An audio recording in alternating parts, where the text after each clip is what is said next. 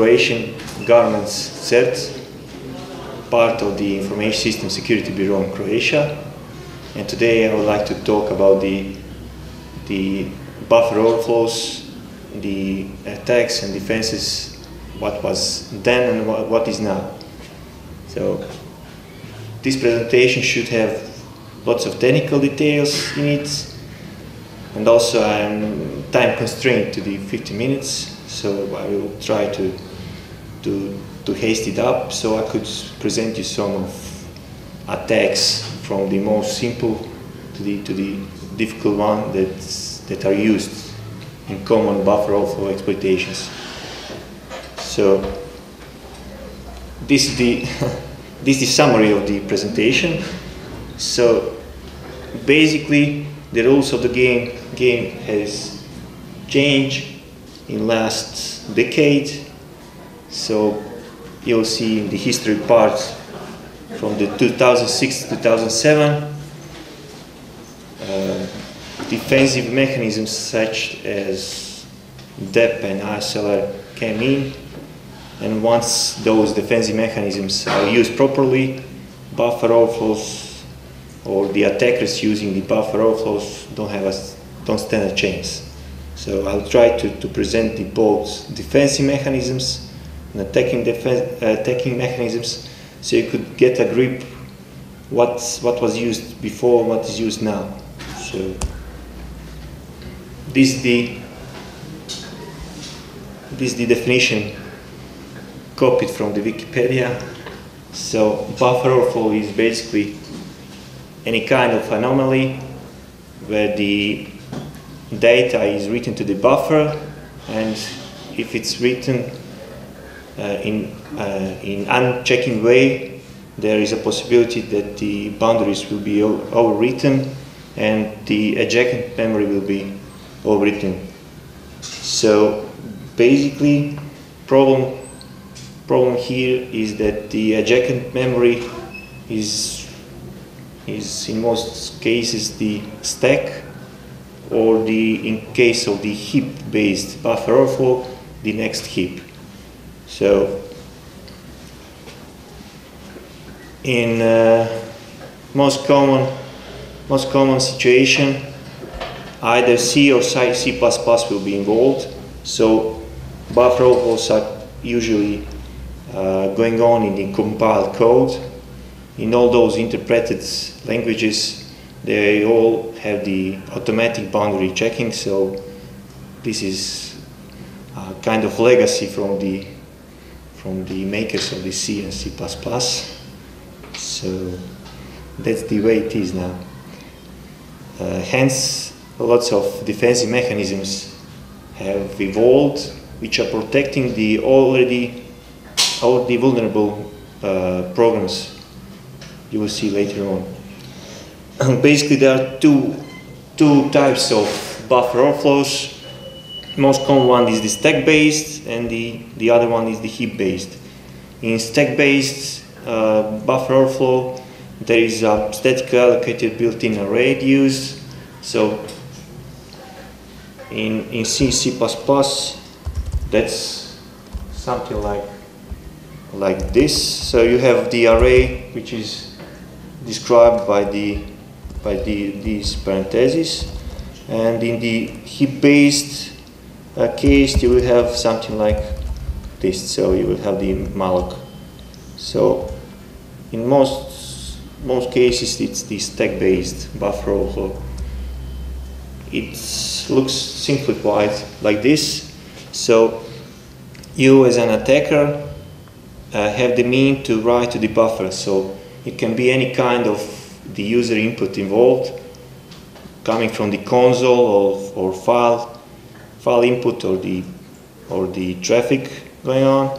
So if there is no, no uh, checking of the boundary conditions here, you can easily overwrite these parts here, which are adjacent. Most usually, we are targeting this part, the return address of the current function, so this most commonly uh, described as the EAP. So you, you are taking control of the EAP. If you are able to, to write here, we will be able to, to jump to the, to the arbitrary address of our interest in further attack. In heap-based overflow, you are basically all writing the, the adjacent chunk here, or chunks, and this is the uh, more trickier way to, there's a, uh, this is um, more trickier to exploit than the stack-based.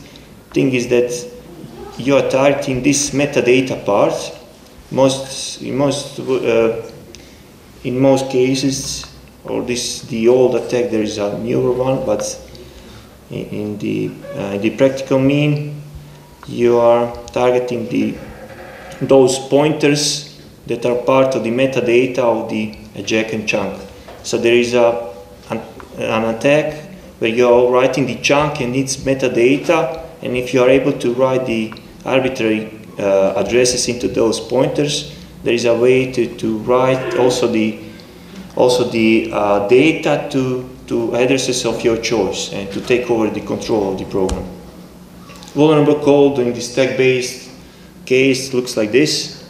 So basically you have the statically allocated uh, buffer here and you are using some kind of the, of the unsafe uh, C, C++ function in this case, there is a string copy, so if, if the input data here is uh, bigger than 100 uh, characters, this buffer will be, will be overwritten. In the heap-based case, you have the two heaps allocated, uh, one near the another, and if uh, the attacker is or the user is writing to the to the first uh, heap, if the user is writing uh, a large piece of data, it will be also able to, to override the, the uh, content of the heap and the metadata of the heap. History goes like this. So in 1961 there, is a, there was an excellent uh, protection in the, those old two, three bedroom uh, machines that was called the executable space protection, which is now commonly uh, named as the data execution uh, pre uh, prevention and the no, exec no executes you will see in following slides.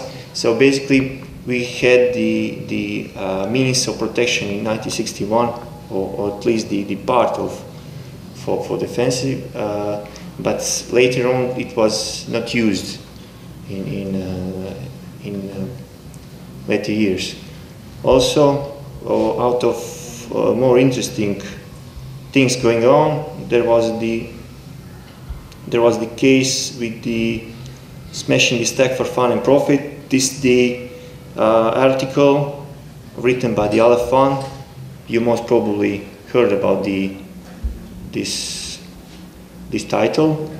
Also, there was the uh, there were two two popular worms going on, Morris worm and the Code Red, which exploited common exploits in those days, which were also the buffer overflows. Also in 2004, you can see that uh, this protection NX and DEP were introduced to the Windows and Linux. After that, the, the, uh, the attacking difficulty became harder and harder. We'll see later on. Also, you can see here there are uh, there are uh, Microsoft Visual Studio flag GS and the GC flag FStack protector that are today used in the compiling of the uh, system libraries. Also, it, they are uh, recommended to use in, also in, in, in other cases. So basically what those flags do, so you're programming your code and if you use those flags uh, it will just warn you or, or, or, prevent you from compiling any further if, if the buffer overflow is uh, found in the code. So basically you have those strong protections implemented in 2004 and 2005, so NX, DEP and ISLR. Also there are those flags used in the case of the Visual Studio here and the case of GCC. So basically after the 2005, the exploitation, at least in the system part, came extremely hard. So if you are um, if you are reading the the exploits that are coming uh, lately, you'll see, at least in the case of, of the Linux system exploits, so particularly in the, in the part of the privilege escalation, you will see that all those exploits are not buffer overflows, but the common logic bugs. So in lots of cases, there is a, some kind of race condition going on where the attacker is, is using the, the privileged mechanism to, to introduce its code into it. So basically, it doesn't have anything to do with the buffer overflows. So this is the first, uh, first def defensive mechanism I would like to introduce. So basically what it does, this data execution prevention of or no execute, this is the, the, uh, this is the data used in the Linux part, this is used in Windows world. So basically what it does, in most common uh, words, it prevents you to, to, uh, to put the programming code into the stack and to later on to execute it.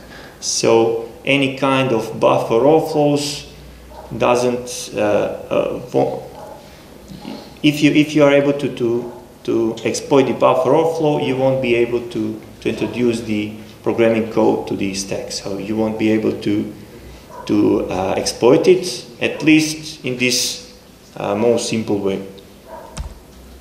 Later, came, there came the ISLR, so this is the other space layout randomization. This is the other piece of the puzzle which bothered uh, people that wanted to defend the systems. So basically there is another way how to exploit the buffer overflows if you are not able to to introduce the executable part into the stack. Later on you will see that it's called return-oriented programming. Thing is that in lots and lots of attacking scenarios, uh, attacker needs something to, to jump or, or needs some, some solid address to call so he could be able to, to, to introduce some uh, to introduce some functionality into his payload or shellcode. So basically, if you want to, to call the system address or system function, you need to know the, the exact location of that uh, system function in the, in the uh, current programming's address space. And if you are able to, or you, use this defensive mechanism, the, those system function addresses will, will change each time you, you execute the, the executable at least in the Linux, in the Linux world, those addresses are changing each time the program is, is uh, run. In the Windows world, those addresses uh, are changed in the, in, uh, when you reboot the machine. All the system functions will, will just change the, the address where they are located. So basically, for example, if you want to, to run some uh, Windows function like winexec, you will see later on in one example. If you want to run the winexec, uh, which will call the cmd.exe in the Windows world, you won't be able to, to run it because you won't know what's the address of that that winexec uh, uh, function in the in the programming uh, in the program's virtual space. Stack canaries, this is the one simple defensive mechanism that was, that was introduced with the compilers. So basically, writers of the compilers introduced one, uh, one random value, most commonly it's random. It's being put uh, just before the, the uh, program parameters and the return address and if the, this same value is overwritten by the buffer overflow, uh, then after the, the, after the part of the function where we could be able to, to, to take over the, the execution control, uh, there is one um, mechanism implemented by the compiler which checks the stack canary. If it's missing or it has the invalid value, it will just discard the, the, the further run. So basically, stack canary is nothing more than the, than the, uh, than the value that is written just before the, the end of the uh, buffer. And if it's being overwritten, it, it, it will prevent you from, from further uh, exploiting the buffer overflow. ASCII armor is the fancy mechanism where the uh, system functions are enforced to, to use the 00, zero, uh, zero, zero uh, character in its address. So if you know basics of the buffer overflow, you'll know that the 00, zero is a big nemesis of the, of the buffer overflow. So basically, uh, in 99% of, of those vulnerable functions like string copy, if there is a shellcode uh, using this address, so shellcode wants to, to use the function like system on the Linux uh, world, and it has this 00 in its uh, address, it will just, string copy will just stop the copying of the, of the buffer, so, so it will just skip the, the later part of your uh, usable or malicious payload. So this is basically a simple way how to prevent the, the usage of, of system addresses. A structured exception handler. This is something uh, that is being described in the tutorials for the for the buffer overflow exploitation as the system to prevent buffer overflows, but the system wasn't uh, primary uh, wasn't primarily introduced for the protection of the buffer overflows, but just for the sake of of, uh, of properly doing the exception handling. So, if you know the basics of the object programming, you know that that if you have the couple of exception handlers uh, that are involved in the programming uh, in programming logic, you'll know that there is certain certain priority of those that needs to be uh, that needs to be run if there is an exception going on in the program. So basically, what is being done this the this the simplified version of the of the structured exception handler chain.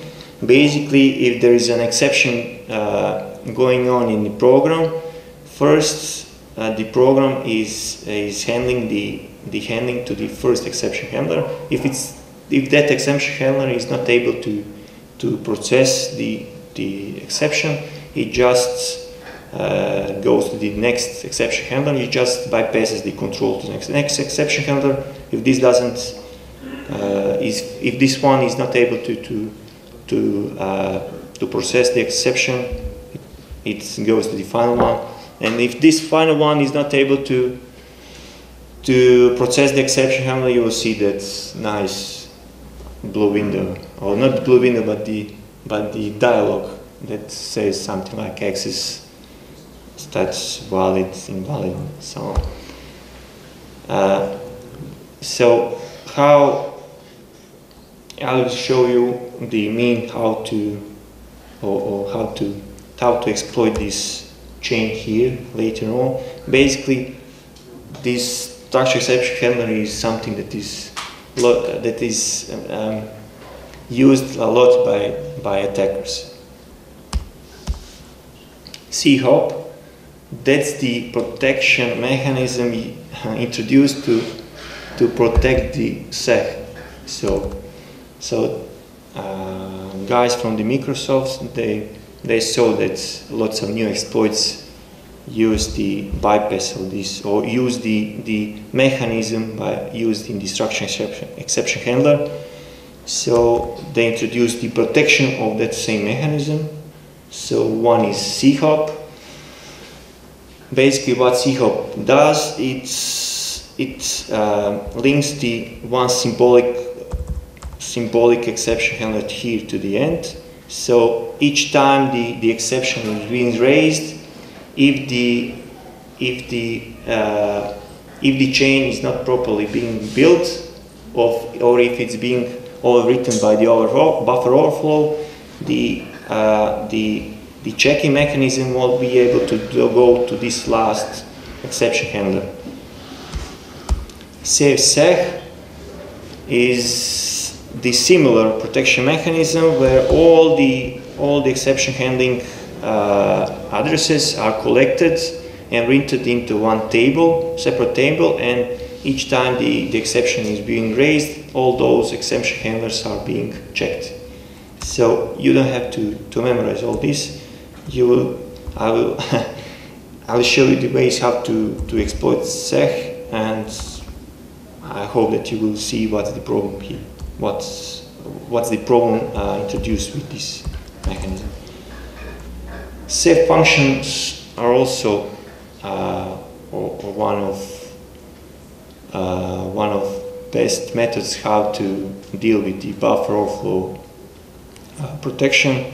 So basically, instead of usage of all those unsafe functions, the new safe functions were introduced where the explicit parameter size was introduced along the, the standard, uh, standard parameters here. So basically, if you use uh, the uh, the difference between string copy and string L copy will be the size parameter. So uh, what, what it does, you give the size of the buffer to, the, to this safe function here along with other parameters and there is no way how, how you will be able to overflow, overflow the buffer because the, the function itself won't, be, uh, won't copy nothing more than the size itself.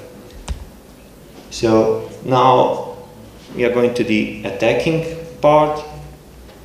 So now I will show you the, the uh, attacking methods used from the most simple to the to the those uh, more complex.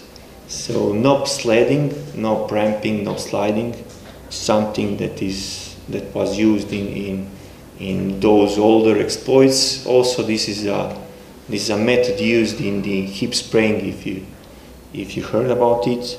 So, thing is that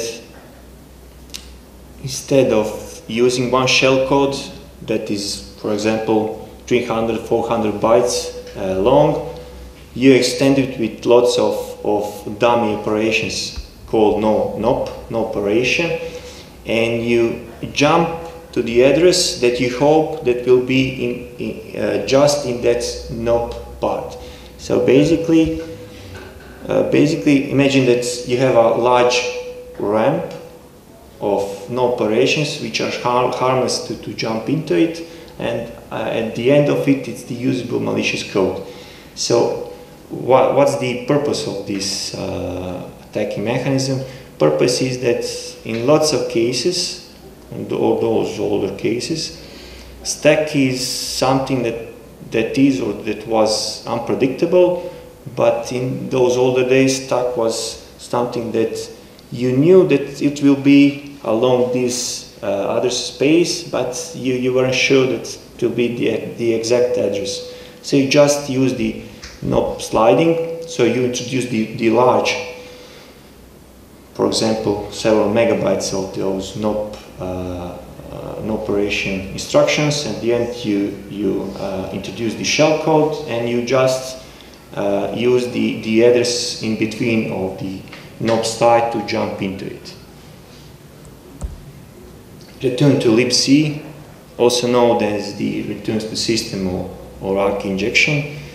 This is the attacking mechanism used to most commonly to uh, to exploit some kind of suite. You know what's this so it's application. So this is the application that in, in one part has the, the highest privileges and if you are able to introduce your code at the time of the of, of running of that same program, you will be able to, to become the root or administrator. So in a to libc, in most cases, you want to, to introduce the, or, or you want to run the shell. So you're introducing into the buffer overflow uh, the mechanism to call the, in this case, the function system, which will uh, which will just use these parameters from the that are uh, uh that are passed here. So as this is this is the linear scale, so this the, the way how the buffer is being written, or this the malicious buffer. So basically you are using lots of junk here. So those characters are just used to, to come to the to this feed part. Feed part is the feed part is the address itself where you want to, to introduce or where you want to take control of the of the uh, execution mechanism. So basically it's called ELP. So it's the instruction pointer which you want to overtake.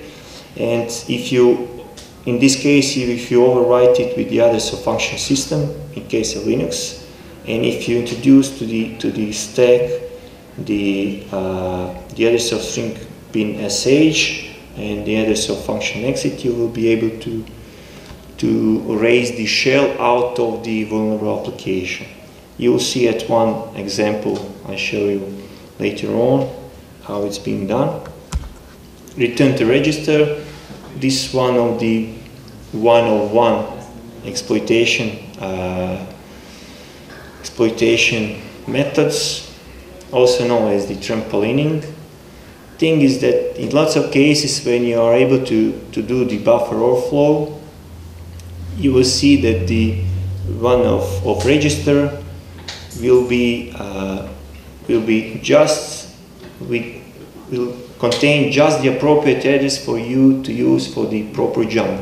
So in case of the NOPS threading, you needed to introduce the static address. It was uh, problematic because stack is uh, can be uh, can be viewed as the, as the deterministic uh, mechanism.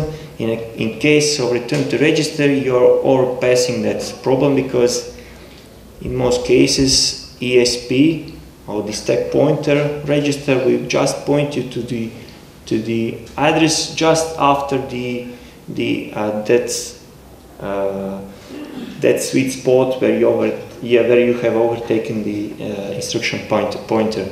So basically how the malicious buffer looks like. So basically you are trying to, to buffer overflow, are using lots of junk uh, characters here. After, after it you use one address you have found previously to the jump ASP or call ASP instruction. So basically if there is no ASLR defensive mechanism uh, used, you can use one static address which has the uh, which has the jump ESP or call ESP instruction, and when the when the buffer overflow uh, comes, or when when, it, when it's being uh, taken, when, when the it's being uh, processed, this address will be used to uh, to be returned to it, and it will just uh, be used to, to jump to the ESP or the call ESP. So, so you will be able to jump to the location which the ASP is, is, uh, is uh, pointing. And in most cases, ESP just pointed to the, to the afterwards, after the, after the, this address itself. So this is a great way how to, how to bypass that constant address problem so you're just jumping here and afterwards you use this payload here for the malicious purposes. So either reverse shell or something like that. You will see these compensating knobs in, in lots of these examples. Thing is that uh, you always need to expect the payload to use the, the stack itself. So you, you don't want the the payloads to push something or pop something from the stack. If the stack pointer is pointing to the payload itself, it will just overwrite itself. So you're always trying to, to use some, uh, in most cases, uh, 8, 10, 16 knobs are used just to compensate that, uh, that space that could be used by, by the stack push or pop in the payload part. Egg hunting, this is something uh, quite interesting to be used. So if you will be, if you will have the uh, wish to, to further to further uh, play with those attacking mechanisms, you will see that the egg hunting is something really fun. Thing is that there are cases when you know that you can see that you can our, uh, you can do the buffer overflow, you can take over the execution, but afterwards you have something like 50 to 10, 100 bytes that are usable for your execution part. In most cases, payloads, those useful, uh, useful uh, mechanisms like payloads for reverse shell, they are uh, large in size like 350 to 500 bytes.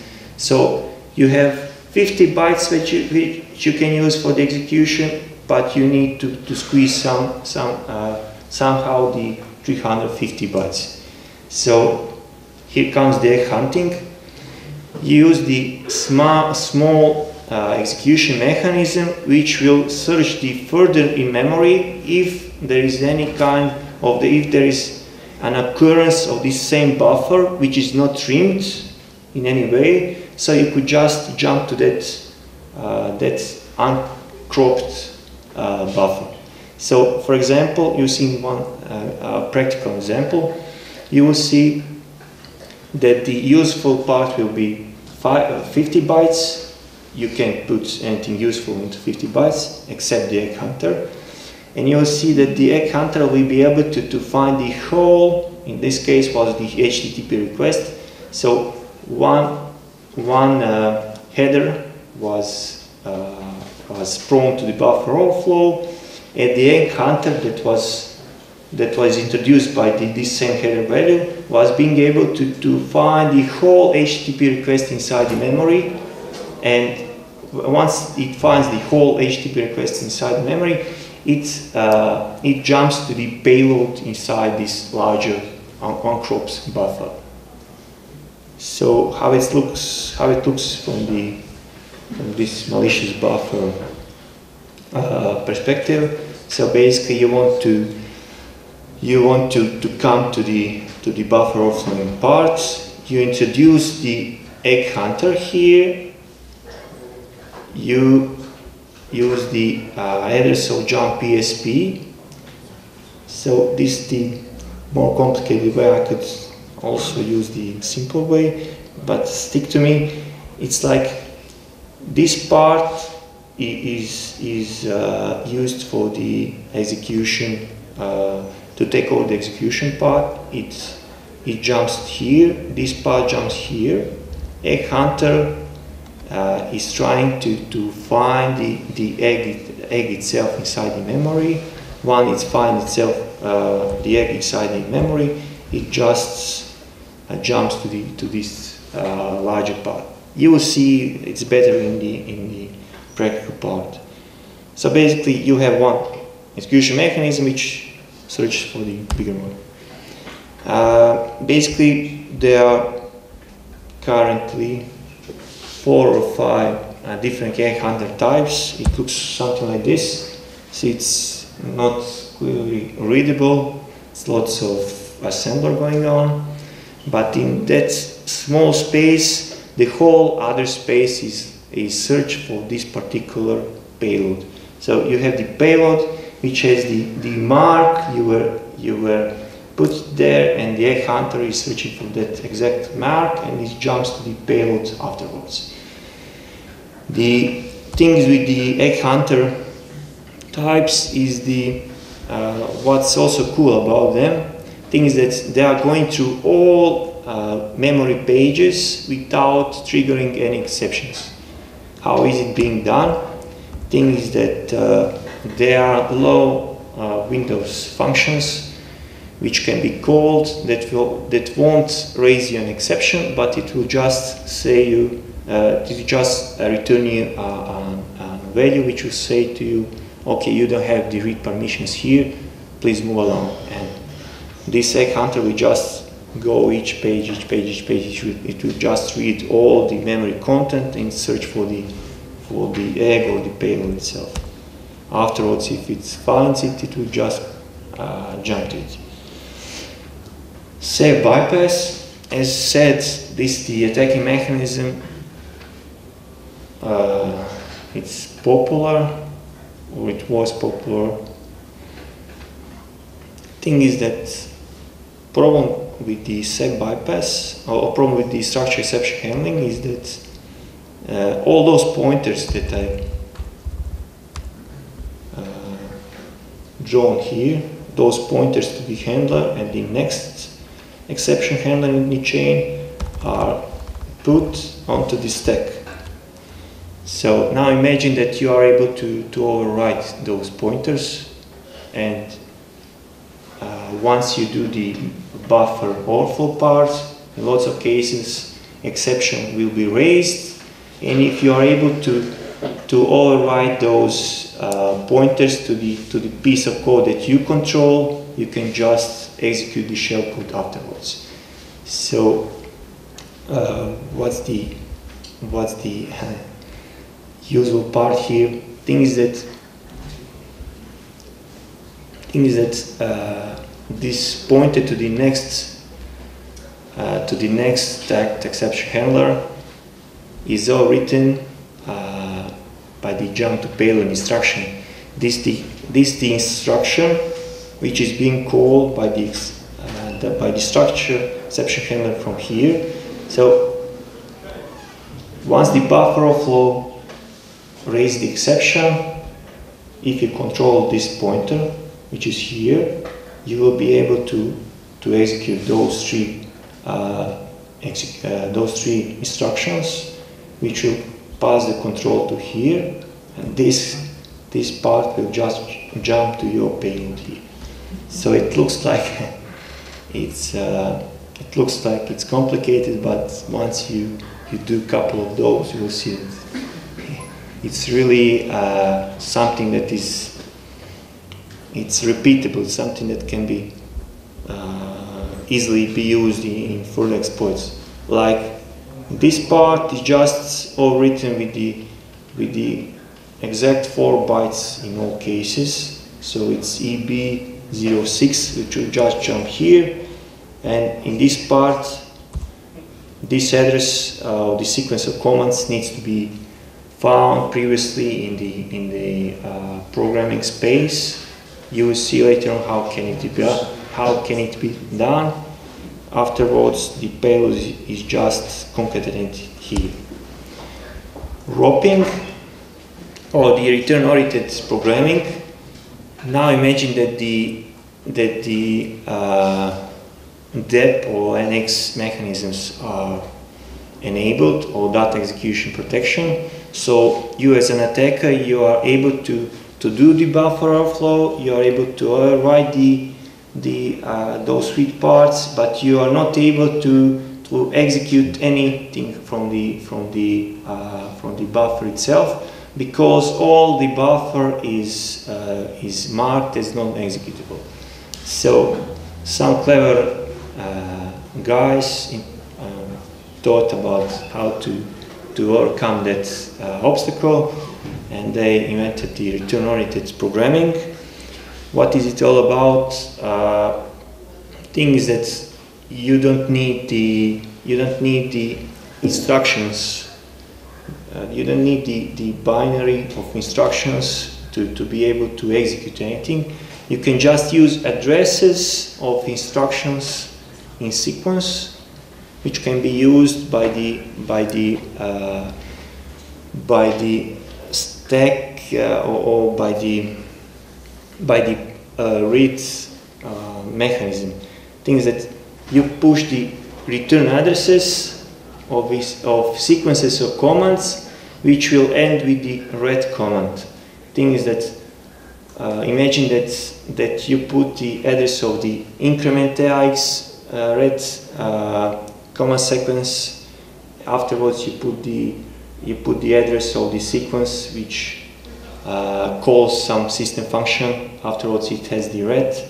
So once the uh, buffer overflow uh, uh, tries to execute the or, or, tries to return the, the execution to, to, to this part in, in your buffer, it will just return to each of those addresses uh, execute those uh, those address uh, those instructions, it will do the return, but the return itself we just jump to, the to the next. Uh, it's called the ROP. To just jump to the next uh, address, it will call this next address. The the that sequence sequence will end with the ret. So you are able to to just jump from here to here by just using those, those addresses. So it's it's a, a, a popular mean or popular way how to use uh, or, or, how to exploit buffer overflow, uh, particularly in those newer versions of, of Windows. Uh, what's the purpose of or, return programming? Things that it's kind of complicated, but there are means how to how to call the system functions which can uh, which can just disable the, the data execution uh, protection and uh, if you are able to, to, to do that with the ROP chain or you are able to, to call one of those functions you you will be able to disable the the or you will be able to, to mark this part as the from non-executable to the executable uh, of the uh, that same buffer you, you were uh, able to, to overwrite and afterwards you the, the execution will just uh, continue with your binary payload. So you're, you're just using the, the return-oriented programming to disable the uh, to disable the protection mechanism here. Afterwards, the, the, the execution just follows on here. Uh, heap spraying. This is a buzzword that can be uh, read in lots of, of newer exploits. Things that uh, lots of, of browser uh, browsers are attacked with this. as I have the I am time constrained, I'll just say a couple of words here. Things that in heap spraying, you are able to, to overtake the, the, uh, the, to do the buffer overflow to, to overtake the AAP or the address where the execution should continue. But instead of using the return-oriented programming, you can use the heap spraying. Heap spraying is goes like this from the visual uh, perspective. You're trying to, to introduce the, the, uh, the large blocks of the knob slides and, and your uh, useful payload. So things that you are just copying uh, payloads together with the knob slides in, in, in large quantities inside the memory. Things that heap is something that is becoming deterministic after a couple of, of calls. So if you are able to, to fill the to, to introduce lots of those uh, large chunks with the payload and knobs. Uh, after a while, you will see that the uh, chunks like this will be introduced to the memory with the predictable uh, memory addresses. So, means that uh, these are lower addressing space. This is the lower addressing space. I know with some common uh, browser, and things that if you do lots of heap spraying, you introduce one large chunk like here and you will be able to, to jump anywhere inside of, of this part you will be able to execute the payload itself. Now the demo time, I'll, I'll show you. I have 10 minutes, 15 minutes.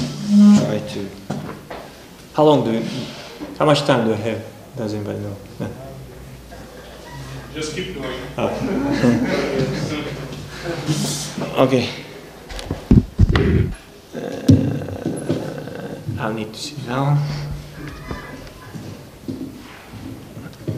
So this is a large area to, to fill in 50 minutes, but I'll try to to just show you glimpses of the of the exploitation. I prepare five examples. I will try to to keep up the pace. So return to libc. This is the proof of concept. So basically how all the exploitations uh, begin. Some, somebody somewhere uh, uh, finds a way how to buffer overflow something. And he he uh, writes writes the proof of concept to the exploit DB. You find the proof of concept like this, and you try to exploit it. So basically, this B BOFE uh, is a is a simple uh, buffer overflow application that I made just to show you how the return to libc works. It's it looks like this. So it's a pretty basic buffer overflow. So if uh, the if the uh, data of more than 100 bytes is introduced, buffer overflow uh, takes over. So it looks like how it looks like here. I show you. This is the uh, this is the platform will use to to uh, to perform the exploitation.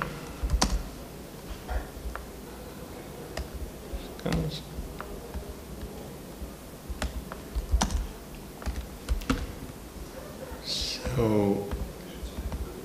this is the buffer of pass, so it just has run the application with the 200 A's here. So return to libc goes like this. So you were able to to overwrite the EAP. The first thing you do this is the 101 of the buffer overflow. You use the pattern create from the from the metasploits you say what's the size of the buffer. You see the size of the buffer is 200 characters. So 200 characters you've seen here from the from the uh, from the proof of concept. You fill this with this special with this special 200 uh, character uh, string. Afterwards you run it inside the debugger. So so you run the BOF, you say arguments here are the same, uh, this same string, you set this, it next that you need to restart, you restart, you run it, the exception or, or not the exception, evaluation uh, goes, uh, is raised here. You see this character or, or this uh, value here. This is the special value. This is one of those values coming from this that uh, same special string. There is a nice, or, or this is the uh, plugin for the Immunity debugger, which is commonly used for, by the exploit developers. It is now used also in the Win debugger. I'll show you here how this, uh, what's uh, what is it used for. This is the Swiss Army uh, tool for the exploitation. So now I will uh, ask the Monad to find all the it will just go to the to the uh, process uh, address space and to try to find these special characters from here you can see here that the AP was written by the same value and the offset of this same special value was the 112. So basically what it says, this Mona is expecting this same special uh, uh, string coming uh, from the from Metasploit's pattern create and it says to you that the that the buffer overflow is uh, taking over the uh, uh, register after 112 characters. So basically what it says to you, it says to you that if you do this, after afterwards you are taking over the EAP. So show you. You always need to to also this is the 101 of exploitation. You also always need to, to to take care of the of the final buffer size. So if we start with the 200 characters, you need to end with the 200 characters because in most cases it will just something will, will go out of boundaries and you you won't be able to exploit it. So we'll try to to to to uh, restrain the buffer size to the original size. It was 200 characters.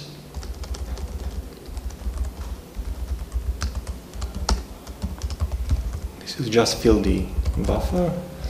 Here comes the uh, sweet part. in case of the return to libc in Windows, you want to call the winexec. Afterwards, you need to you want to call the you want this to be the return address after the winexec is being called. Here you need to, to put the address of the uh, cmd.exe and here you can put 4 bytes of junk. Because this is the uh, something I'll show you.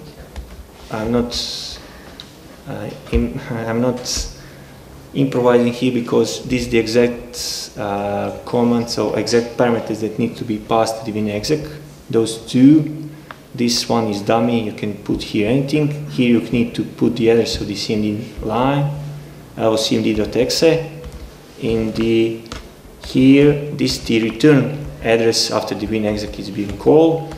Now how to find the winexec address? You can find it like putting the breakpoint to it. You'll see that the address is this. This is constant, at least in the case of the of the Windows XP SP3.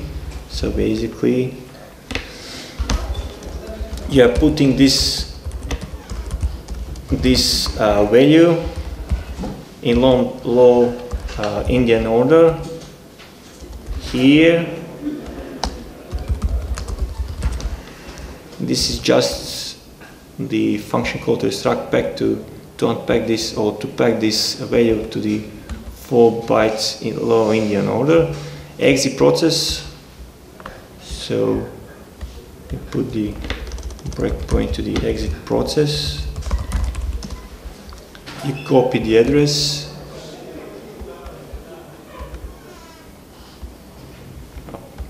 You copy the address here.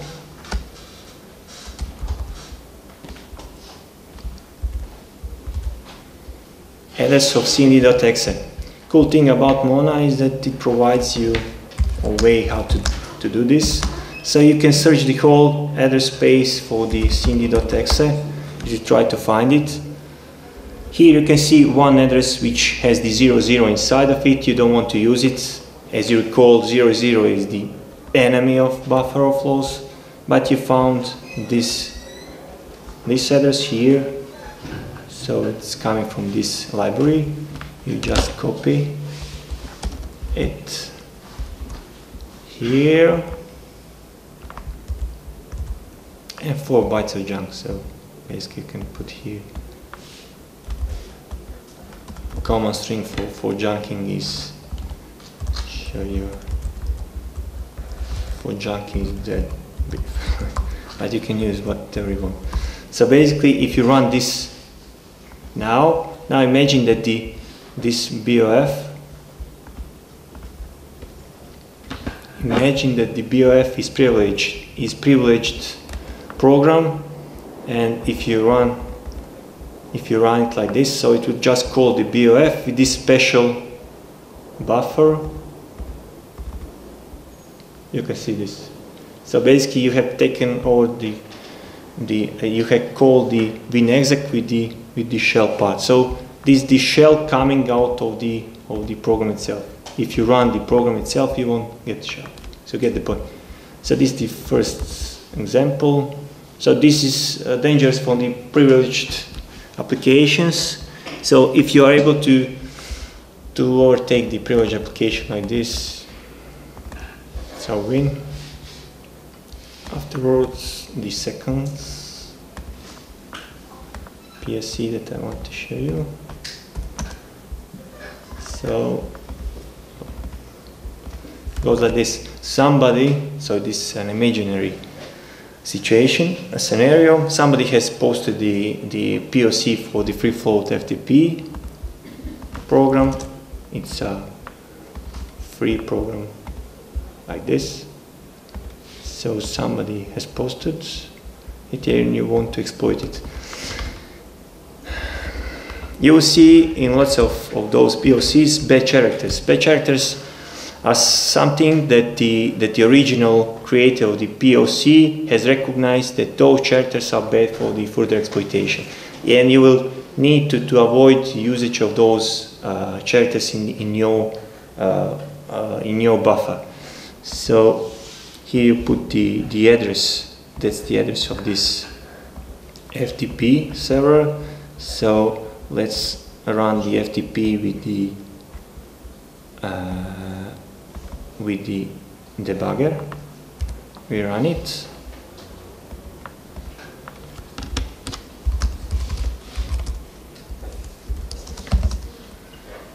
So let's just skip the, this part as there is no time.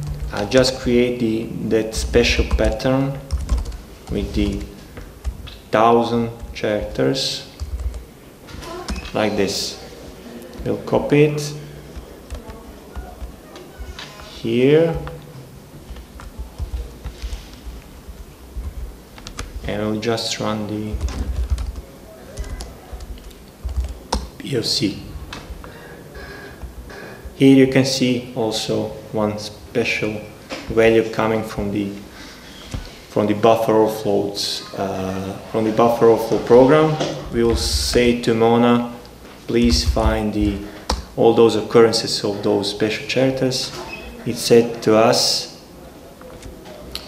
that the EAP was all written on one of those special values from the offset 247.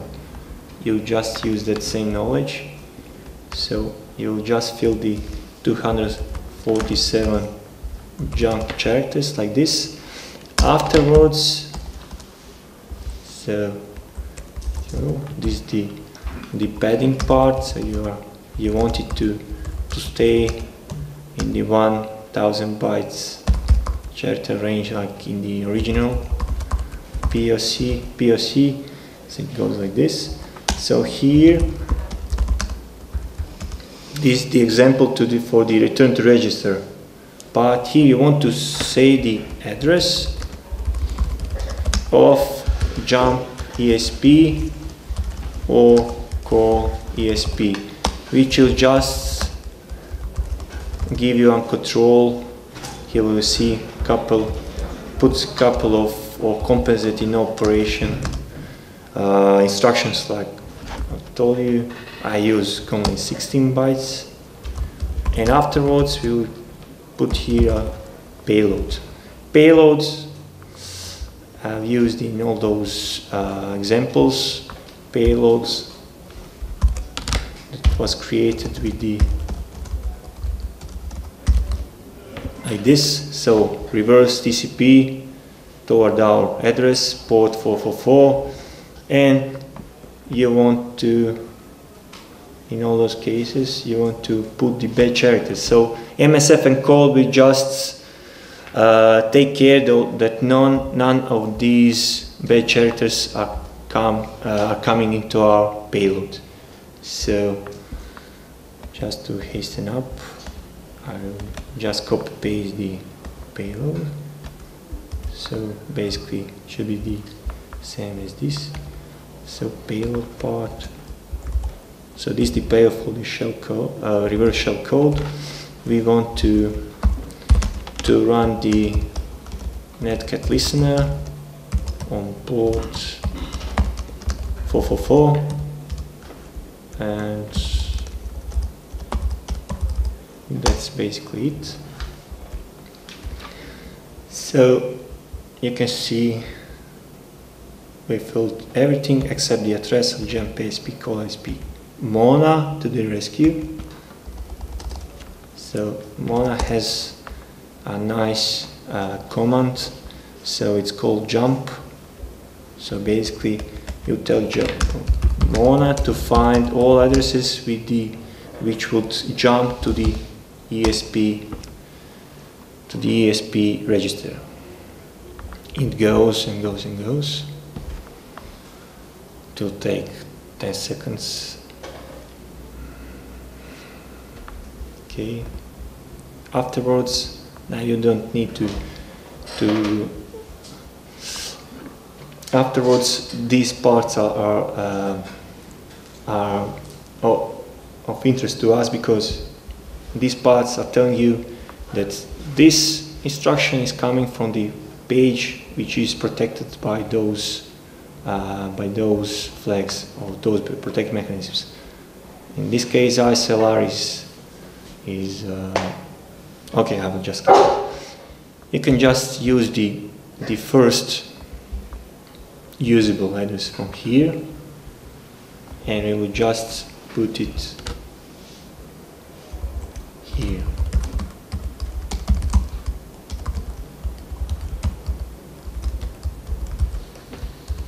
So basically this is the jump PSP address.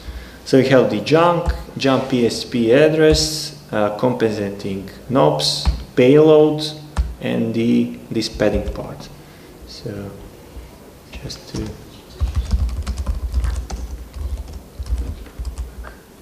now we will just rerun the the uh, vulnerable application and we have the listening shell here, listening netcat instance, and we just run our application. Oh, not here, but the the uh, expected. This is the expected final result. So we have the shell toward the the attacked machine. So we have taken all the machine or the vulnerable FTP application. So, so this, the, this was the example for the return to register.